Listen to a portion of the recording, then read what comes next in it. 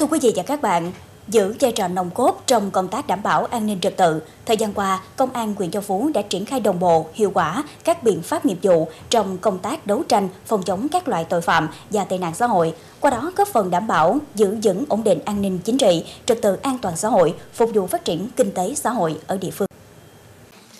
Thực hiện chỉ đạo của Ban Giám đốc Công an tỉnh, quyện quỹ, Ủy ban nhân dân quyện, từ đầu năm đến nay, ban lãnh đạo công an huyện Châu Phú tập trung bố trí lực lượng bám sát địa bàn, quản lý chặt chẽ đối tượng và xác định đối tượng tuyến, địa bàn trọng điểm để phòng ngừa tấn công, trấn áp tội phạm, kịp thời tham mưu quyện quỹ, ủy ban nhân dân quyện giải quyết dứt điểm những vấn đề có liên quan đến an ninh trật tự, không để kéo dài phát sinh thành điểm nóng, phân công rõ trách nhiệm trong ban lãnh đạo công an huyện, lãnh đạo các đội nghiệp vụ, trưởng công an các xã thị trấn theo chức năng nhiệm vụ thực hiện quyết liệt các chỉ tiêu công tác năm 2023 triển khai các đợt cao điểm tấn công, trấn áp các loại tội phạm, bài trừ tệ nạn xã hội, qua đó nâng cao hiệu quả công tác phòng chống tội phạm. Nổi bật, các điểm, tụ điểm, tuyến, địa bàn trọng điểm liên quan đến lĩnh vực kinh tế, ma túy, môi trường, tệ nạn xã hội được phát hiện và đấu tranh triệt xóa kịp thời, đã góp phần đảm bảo an ninh, trật tự, tạo được niềm tin của nhân dân.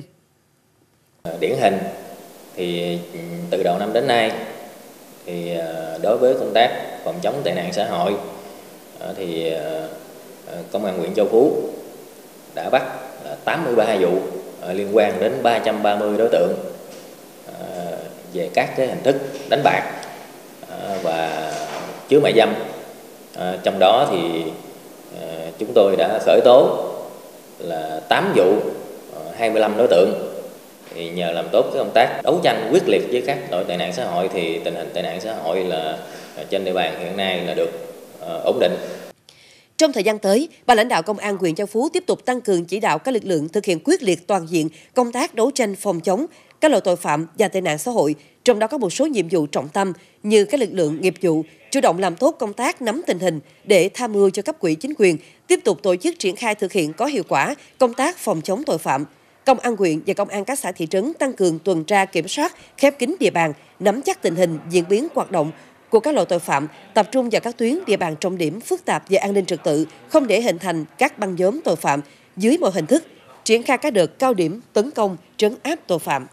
À, thứ nhất là chúng tôi làm tốt công tác là nắm tình hình và dự báo tình hình à, từ xa từ sớm. À, từ đó chủ động đề ra những cái giải pháp đấu tranh phòng ngừa, phòng ngừa đấu tranh có hiệu quả, không có để cái tình trạng là không để là bị động, đột xuất bất ngờ Ờ, thứ hai nữa là chúng tôi là làm tốt công tác tuyên truyền để quần chúng nhân dân nâng cao ý thức cảnh giác đối với các loại tội phạm và mạnh dạng tố giác tội phạm với là cơ quan công an. Thứ ba là chúng tôi là uh, tiếp tục rà soát uh, quản lý chặt chẽ các loại uh, đối tượng cũng như là quản lý chặt chẽ địa bàn. Và chúng tôi chủ động uh, xây dựng kế hoạch tấn công chấn áp các loại tội phạm này uh, dịp là trước trong và sau Tết Nguyên đán năm 2024. Bên cạnh đó, lực lượng công an huyện chủ động phối hợp với các ban ngành đoàn thể địa phương đẩy mạnh công tác tuyên truyền, nâng cao chất lượng hiệu quả công tác xây dựng phong trào toàn dân bảo vệ an ninh tổ quốc, thực hiện tốt công tác tiếp nhận, phân loại, giải quyết tố giác, tin báo về tội phạm, để mạnh hơn nữa công tác điều tra, xử lý án, nhất là xử lý nhanh các vụ án trọng điểm gây bức xúc trong nhân dân, tăng cường công tác lập hồ sơ, đưa người vi phạm pháp luật vào trường giáo dưỡng, cơ sở giáo dục và cơ sở cai nghiện bắt buộc, thường xuyên làm tốt công tác giáo dục chính trị tư tưởng cho cán bộ chiến sĩ, thực hiện có hiệu quả phong trào thi đua yêu nước, giữ vững sự bình yên của nhân dân.